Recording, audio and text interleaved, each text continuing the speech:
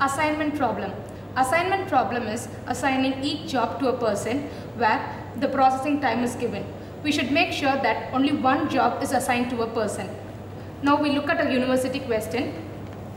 Here in this question, we have to assign four salespersons to four different sales region in such a way that the total sales is maximized.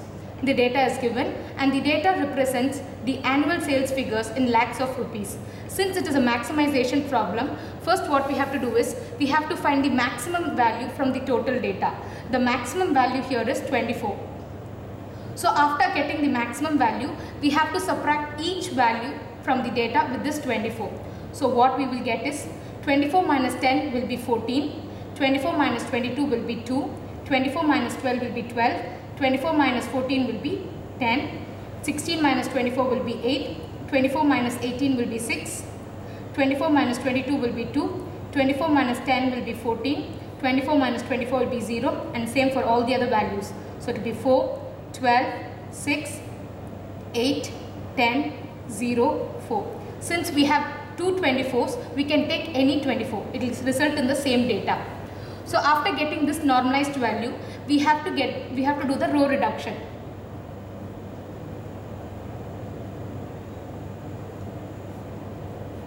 In the row reduction, we have to find the smallest value in each row.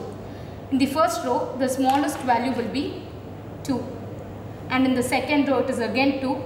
Third row, it is 0. And in the fourth row, it is again 0. So we have to subtract each value. In the first row, we have to subtract each value with this 2. So in the first row, you will get it as 14 minus 2 will be 12. 2 minus 2, 0. 12 minus 2, 10. 10 minus 2, 8.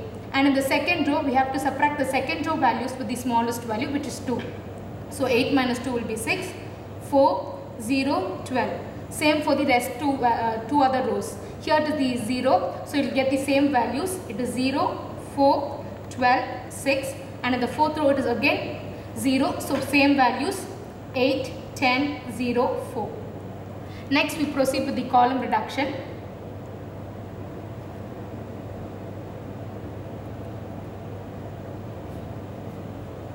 In the column reduction, we have to find the smallest value in each column. In the first column, it is 0. Second column, it is again 0. Third column, we have two zeros. We can pick either one of it. I am picking the first one. And in the fourth column, it is 4. So to do the column reduction, we have to subtract each value in the first column and subtract it with the 0. So 12 minus 0 will be 12. So you'll get the same values 6, 0 and 8. In the second column, subtract each value with the 0. So again the same value 0, 4, 4, 10. And in the third column, subtract each value with the 0, 10, 0, 12 and 0. Fourth column, the smallest value is 4. So subtract each value in this column with this 4. So 8 minus 4 will be 4, 12 minus 4 will be 8, 6 minus 4 2, 4 minus 4 0. So after doing the column reduction, we have to allocate these zeros. For the allocation of zeros, what we have to do is in each row we have to make sure that only one zero is present. If suppose one zero is present, I will just allocate that zeros. If more than one zero is present, I will not allocate it. I will just leave it as it is. So in the first row there is only one zero, so I am allocating it. And I also have to make sure that this allocated zero should not intersect with any allocated zero, other allocated zeros. And in the second row, again I have only one zero, I can allocate it, but I am making sure that it does not intersect with any other allocated zeros. Suppose if I allocate with zeros, suppose if I allocate this zero, there is no other zeros here, so there is no problem. And there is no other zeros here, but here there is another zero. But since it is not an allocated zero, I can allocate this zero. And in the third row, this zero is there. There is no other allocated zeros on either side of it, so I am allocating it. In the fourth row, I have this 0. Suppose if I allocate this, it will intersect with my already allocated 0. So I cannot allocate this 0. I am going to this 0. So if I allocate this 0, it does not intersect with any other allocated 0. So I can allocate this one. Now there is only one allocation for each salesperson to each sales region. So I can say it as first salesman is assigned to the second region, second salesman is assigned to the third region, third salesman is assigned to the first region and the fourth salesman is assigned to the fourth sales region. Now we have to get the values from the original data. The second sales region, the value is 22, The second salesperson is assigned to the third sales region which is again 22. Third salesperson is assigned to the first sales region which is again 24. Fourth salesperson is assigned to the fourth sales region which is again 20. By summing up all this, we get it. We get a value of 88. That's it. Now we'll just have a review of it. We are just finding the maximum value from the given data since the question mentioned is maximized. We subtract all the values from this maximum value and we get another tabular column which is subtracted from this 24.